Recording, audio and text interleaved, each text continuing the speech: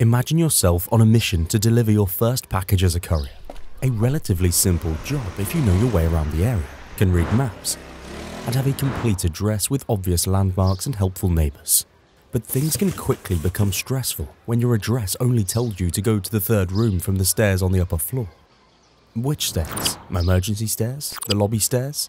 Third room to the left of the stairs? To the right? What floor? Might as well burn the whole place down.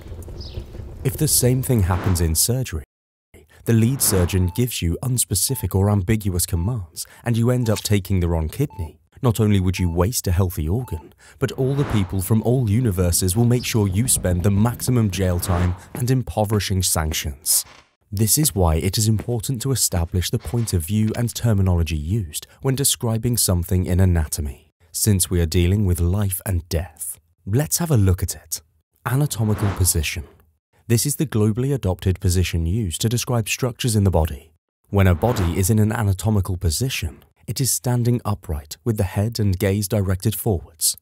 The upper limb should be located beside the body, with the palm facing forwards and the thumb pointing away from the body. The lower limbs must be close together and parallel while facing forward. After establishing the standard positions, we need to know the planes that are used to divide the body and the terms to describe the position of an object on the body. The median plane, also called the mid-sagittal plane, is a vertical plane that passes straight through the center of the body in a longitudinal direction. It divides the body into equal right and left halves. Structures that are near the plane are referred to as medial whereas structures that are further away from the median plane are called lateral. On the other hand, lateral, the longitudinal or parasagittal plane, is any vertical plane parallel to the median plane, but not located in the middle. Thus, it does not divide the left and right parts of the body equally. Frontal or coronal planes. This plane runs vertically and forms a right angle with the median plane. It divides the body into two parts, front or anterior, and back or posterior. Sometimes ventral and dorsal are also used instead of anterior and posterior. However, when describing the hand, other terms are used. Palmar when talking about the palm instead of anterior, and dorsal to describe the back of the hand instead of posterior. Transverse planes. This plane runs horizontally and perpendicular to both the median and coronal planes. It divides the body into the upper and lower parts. Structures that are nearer to the upper end will be referred to as superior, while the structures that are positioned more towards the lower end are called inferior.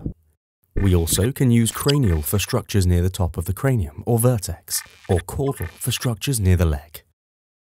Those are the primary positions that occur with reference to the standard planes and anatomical positions. There are more terms for the relationship that depend on other parts of the body. In the surface of the body, we use the terms superficial or external for structures that are closer to the surface, deep or internal when it is further from the surface, and perforator or intermediate for in between. To describe positions by relative distances from the center of the body, we use proximal to refer to nearer structures, whereas distal to refer to structures farther away. Ipsilateral or unilateral means on the same side of the body, such as when a tumor affects one of your eyes. Contralateral means on the other side of the body, such as when a stroke occurs in the brain.